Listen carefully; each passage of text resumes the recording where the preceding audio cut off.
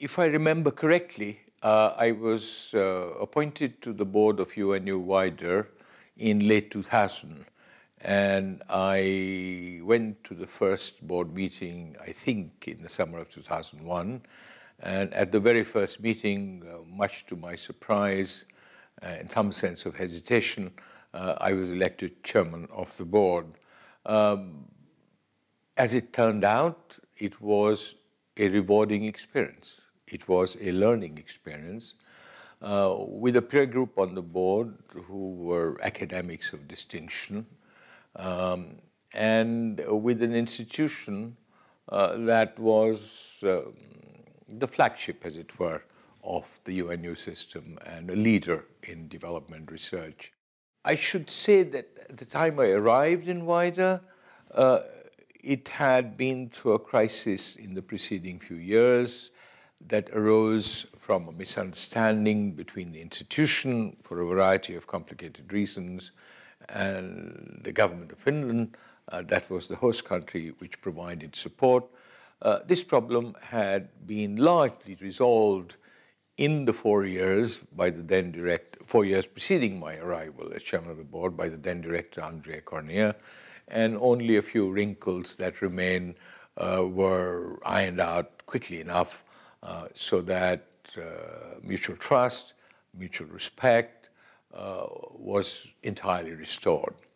And in many ways, uh, my tenure of eight years as chairperson of the UNU Wider Board uh, was a very productive period uh, for Wider.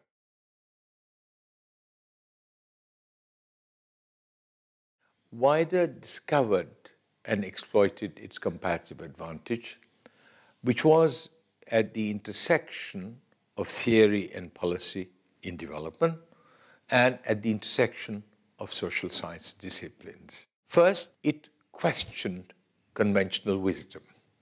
All right?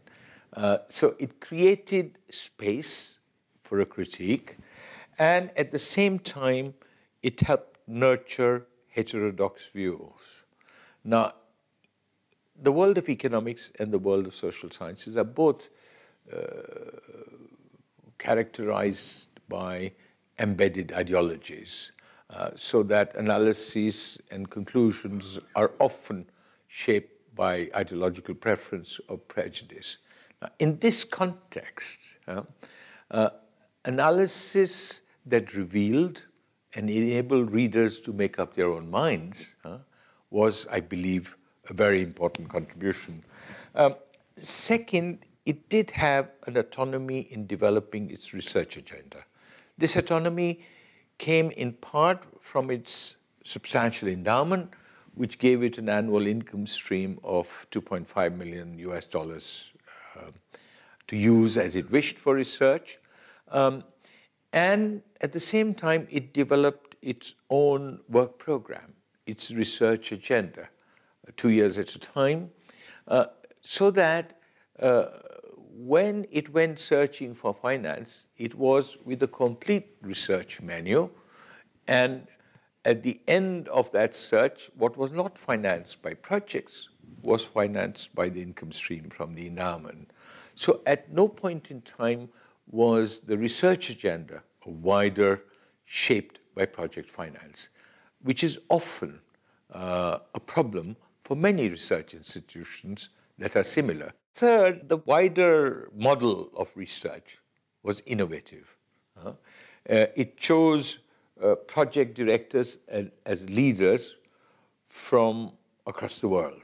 Fourth, I think its strength, apart from the leadership provided to the institution by the directors, was the nature, the composition, and the quality of the board.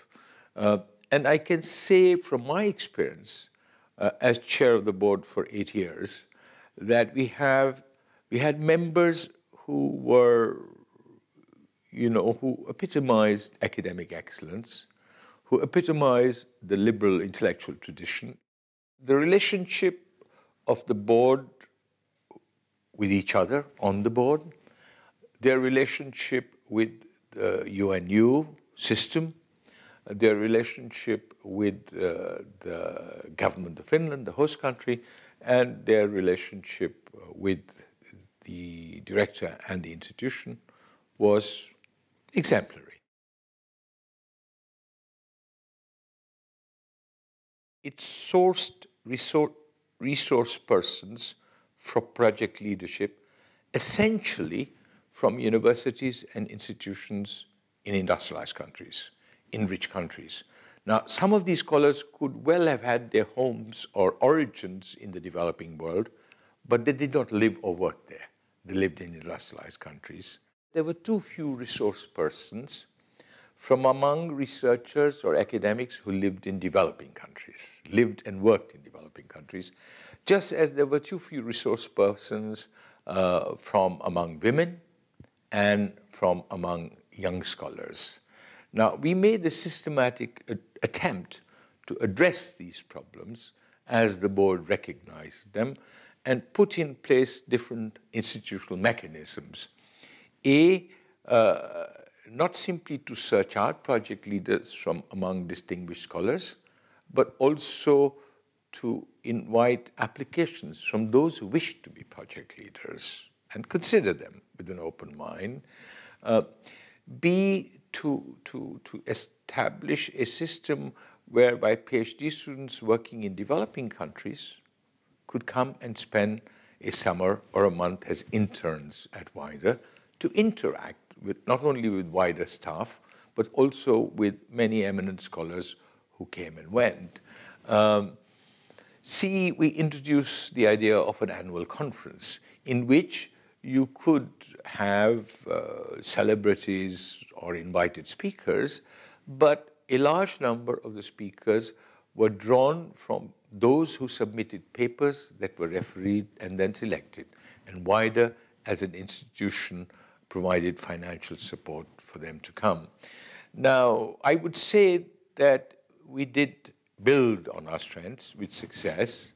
Uh, I would say that we did manage to address our weaknesses, to improve the institution and its working in some respects, uh, but this success was only partial.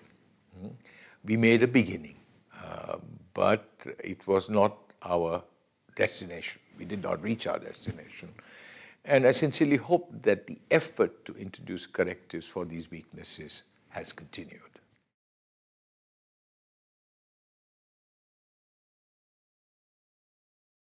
In fairness, I should begin with the times before my time. Uh, I do recall, as a scholar in the outside world, um, three pieces of WIDER work that were influential in their reach and in the power of their ideas. Um, the, the volume edited by Stephen Marglin and Juliet Schor, The Golden Age of Capitalism, the volume edited by Lance Taylor, Varieties of Stabilization Experience, and the volume edited by Drèze and Amartya Sen on the political economy of hunger. Each of them, in their own way, made important contributions to understanding and stimulated thinking, stimulated research, uh, made a difference. Um, if I were to think of uh, work, uh, and I, you know, inclusion and exclusion can be invidious. I don't mean to. I am just recalling uh, what, what left an impression on me. There were many, many others. Um, I would choose the, the, the, book edited by Andrea Cornia and Vladimir Popov, Tra Transition Economies or Transition and Institutions. Uh, Ha-Joon Chang, Institutional Change and Economic Development. Um, George Mavrotas and Anthony Shorrocks Advancing Development, Core Themes in Global Economics. Um, perhaps something new, even if sparse, uh, Jim Davies, Personal Wealth from a Global Perspective. Uh, and if it does not transgress modesty as a virtue, I would also mention the book I put together on governing globalization. I think, and this was done before I was a member or chair of the board. And uh, I would say these books made a difference. I think Wider has worked on, on themes uh, that are perennial. It has worked on them over a long period of time, a decade or longer. It has worked on themes that are conjunctural, that have an importance at that juncture in time. And it has worked on selected themes, uh, uh, which have sometimes been very innovative and very significant in, in their contribution.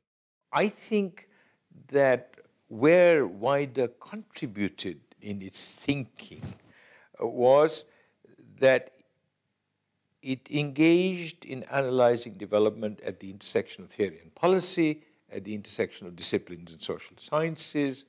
Uh, it questioned conventional wisdom, and it made significant contributions to knowledge.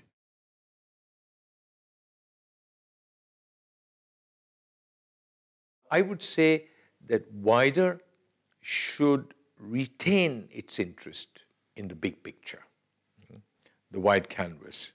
Uh, I think Wider should adhere as closely as it can to the liberal intellectual tradition uh, so that uh, it has the capacity to question conventional wisdoms uh, uh, of every view, of every school of thought, so that readers, students, researchers, policymakers can, on the basis of its research, make up their minds and decide what they believe is correct.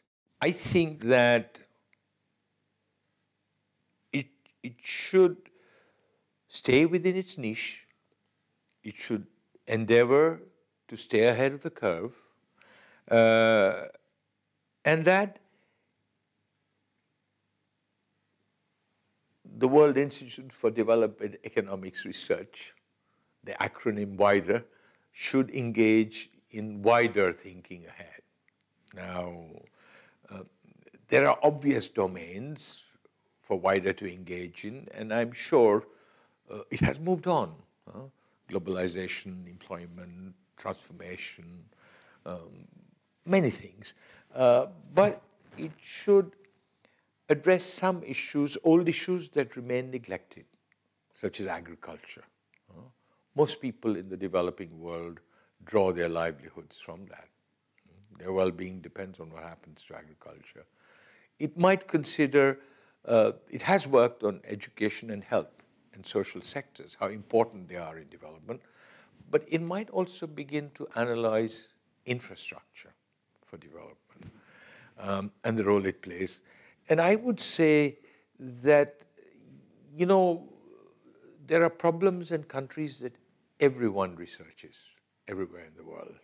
So wider in keeping with its sort of search for the niche, its comparative advantage, should focus on Africa. I think it is the future of development 50 years from now. I think wider should, should consider concentrated work and focus on the least developed countries, the poorest countries in the world, uh, the landlocked economies, the island economies, um, and there are a large number of countries in that domain. But uh, there's an enormous world out there. Ultimately, whatever I say, choices will have to be made. And those choices must be made on the basis of that double litmus test. That are you at the intersection of theory and policy and development? Are you at the intersection of disciplines in the social sciences so that you do what university departments and universities do not do? And do you maintain that liberal intellectual tradition of, of questioning all conventional wisdoms? Thank you.